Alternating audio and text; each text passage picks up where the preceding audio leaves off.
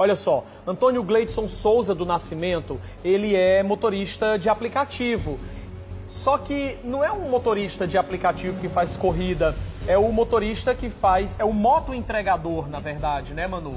Isso, agora... Ele fazia entregas aqui na capital. Até aí tudo bem. Tudo bem, mas você sabe que tipo de entrega ele fazia? Aí é que mora o problema, gente. A, a gente acha que... A gente não, o crime sempre quer driblar ali, quer arrumar uma maneira de despistar a polícia, só que um dia a casa, a casa cai, né? Ele foi abordado por uma equipe de policiais do raio que revistaram a mochila dele.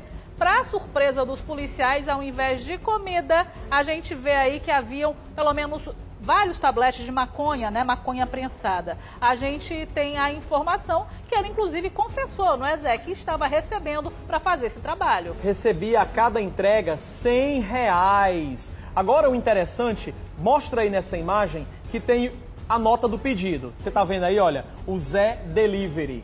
Aí no Zé Delivery tem o bairro, tem a rua, e tem lá o comentário do pedido. Nesse daí tinha traz um pó de 20 também, se der. O camarada tinha pedido uma cervejinha, mas para despistar, colocou aí nos comentários traz um pó de 20 se der. E era assim que estava funcionando a entrega de drogas, mas a polícia caiu em campo e prendeu esse camarada. Vamos ver. Olha, gente, você que está ligado na TV Cidade nesse momento, Preste muita atenção. Ah, o pessoal da segunda companhia do pelotão de motos tem feito um grande trabalho. Um grande trabalho. A CIOPS informou que uma moto, passaram a placa, a placa da moto, essa moto que nós estamos mostrando aí para os senhores, uma moto roubada. Aí eles começaram a dar um baculejo ali na, na, na Francisco Sá. Quando chegou na Francisco Sá, Presta atenção. Eles olharam assim a moto com um bag, né? O isopor, aquele isopor de um aplicativo. Estranharam. Aí o cabo, o cabo ao meio da frente, os seus policiais chegaram e abordaram. Abordaram. Quando foram mexer, mexer no isopor, qual não foi a surpresa? Dois quilos de maconha. 2 quilos de maconha sendo entregue por um rapaz que trabalha no, no aplicativo. Ele confessou que trabalha no aplicativo. Ele ia receber 100 reais para deixar essa maconha lá na Barra do Ceará. 100 reais para deixar essa maconha na Barra do Ceará. Mas agora ele veio parar aqui, ó, no 34 DP. E está sendo autuado, autuado eh, por tráfico, né? pela quantidade de maconha. Agora, esse rapaz não tem nenhuma entrada, é, ele não tem nenhum procedimento na justiça. Esse rapaz nós estamos mostrando aí.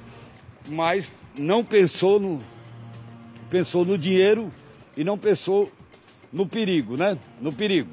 Agora a moto, a moto consta como roubada também. A moto consta como roubada. Então, o negócio está meio complicado aí. E os senhores veem ele todo vestido como um entregador de aplicativo. Antônio Gleidson Souza, do Nascimento, 23 anos de idade.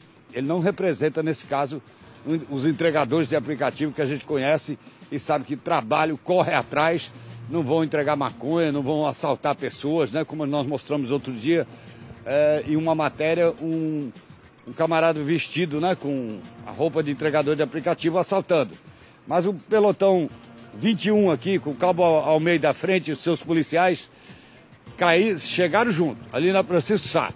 E nesse momento está sendo aguardado aqui, o, ele está sendo fragranteado aqui no 34 DP. Grande trabalho, pessoal do pelotão de motos 21, certo? 21, à frente o Cabo Almeida. Aliás, o que esse pessoal estão tirando de drogas, de circulação e armas não é brincadeira. Parabéns, parabéns. E esse rapaz criar juízo, né? Criar juízo. Águia Dourada para o Cidade 190.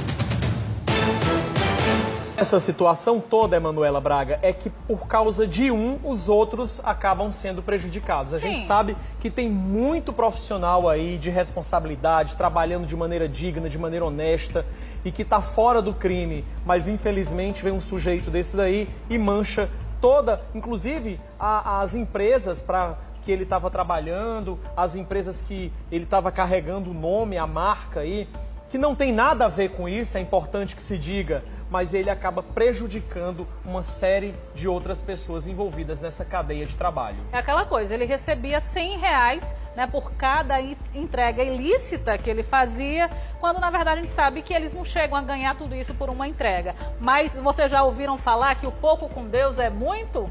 Né não? E a Exato. dignidade, o nome limpo, melhor ainda, gente. Absurdo. né? Absurdo as pessoas se sujarem por uma situação como essa e agora vai ser autuado, foi autuado por um crime pesado, né? O prejuízo, aí ele vai levar para o resto da vida dele por essa irresponsabilidade.